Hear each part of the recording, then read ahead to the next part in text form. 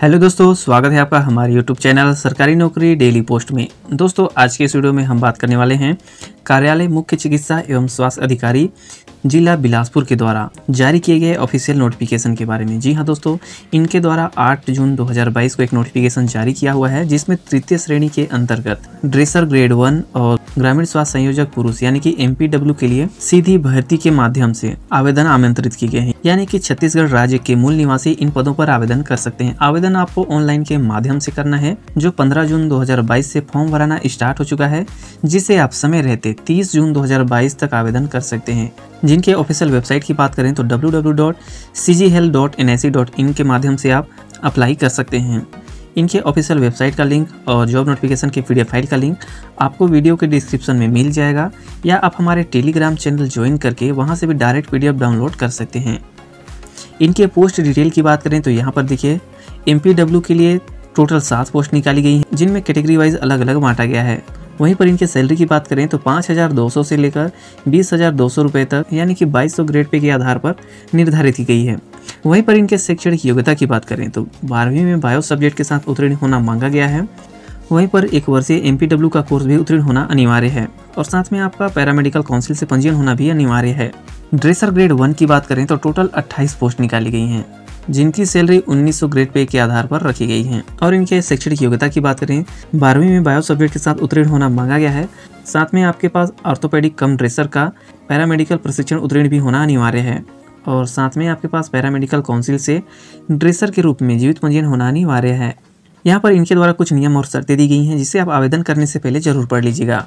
जैसे कि इन पदों पर आवेदन करने के लिए छत्तीसगढ़ राज्य के मूल निवासी ही पात्र होंगे, यानी कि छत्तीसगढ़ राज्य के किसी भी ज़िले के आवेदक इन पदों पर आवेदन कर सकते हैं। अगर उनके पास संबंधित पोस्ट के आधार पर शैक्षणिक योग्यताएँ हैं, तभी आवेदन कर सकते हैं। और दोस्तों, इन्होंने यहाँ पर दिया हुआ है कि MPW का जो पद है, उसमें केवल पुरुष उम्मीदवार ही आवेदन कर सकते हैं। इनके एज लिमिट की बात करें तो 1 जनवरी 2022 की स्थिति में कम से कम 18 वर्ष होना चाहिए और अधिकतम 35 वर्ष से ज़्यादा नहीं होना चाहिए। और यहाँ पर आरक्षित वर्गों को आयु सीमा में छूट दी गई है, जिसे मिलाकर 45 वर्ष से ज़्यादा नहीं दी जाएगी।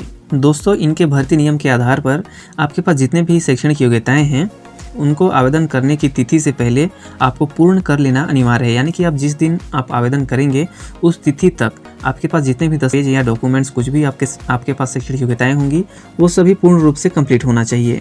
बाकी यहाँ पर कुछ अन्य नियम और सत्य दी गई हैं, जिसे आप आवेदन करने से पहले ज़रूर पढ़ लीजिएगा। और अगर आप किसी शासकीय अशासकीय संस्थाओं में कार्यरत हैं तो आप नियोक्ता का अनापत्ति प्रमाण पत्र दस्तावेजों का जो सत्यापन होगा, उस समय आपको प्रस्तुत करना अनिवार्य होगा। तभी चयन में पात्र किए जाएँगे।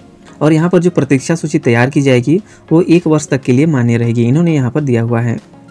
और दोस्तों, इनके सिलेक्शन प्रोसेस की बात करें तो शैक्षणिक तकनीकी योग्यता का 85 परसेंट लिया जाएगा और वहीं पर अगर आपके पास अनुभव है तो 15 अंक लिया जाएगा, जो प्रति वर्ष तीन अंक के आधार पर अधिकतम पाँच वर्ष के लिए दी जाएगी।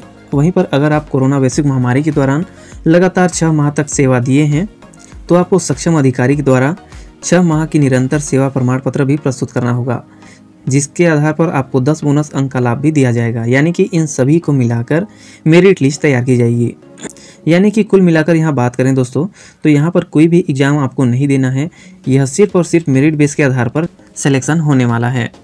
अब बात आती है कि आप आवेदन कैसे करेंगे। तो सबसे पहले आपको इनके ऑफिशियल वेबसाइट पर जाना होगा, जिसका लिंक आपको वीडियो के डिस्क्रिप्शन में भी मिल जाएगा। वहाँ जाने के बाद आपको इनके द्वारा जो भी मांगी गई समस्त जानकारियाँ हैं, उनको भरने के बाद उसका प्रिंट आउट निकाल कर स्वयं का हस्ताक्षर करना होगा। उसके बाद इसे स्कैन करके अपलोड करना होगा। और दोस्तों, इस जॉब से रिलेटेड जितने भी सूचनाएँ होंगी, निर्देश, आदेश या पात्र पात्र की सूची या मेरिट सूची, यानी कि यहाँ पर भर्ती से संबंधित जितनी भी जानकारियाँ दी जाएँगी, उसे आप इनके ऑफिशियल वेबसाइट पर चेकआउट करते रहिएगा। दोस्तों, इन्होंने यहाँ पर साफ़ साफ़ दिया हुआ है, सिर्फ़ और सिर्फ़ ऑनलाइन के माध्यम से ही करना होगा। अगर आप ऑफलाइन के माध्यम से आवेदन करते हैं तो मान्य नहीं किया जाएगा। और दोस्तों, इस वीडियो के डिस्क्रिप्शन में बाकी ज़िले में निकाली गई वैकेंसियों की जानकारियों का लिंक आपको मिल जाएगा। आप वहाँ से भी चेकआउट कर सकते हैं।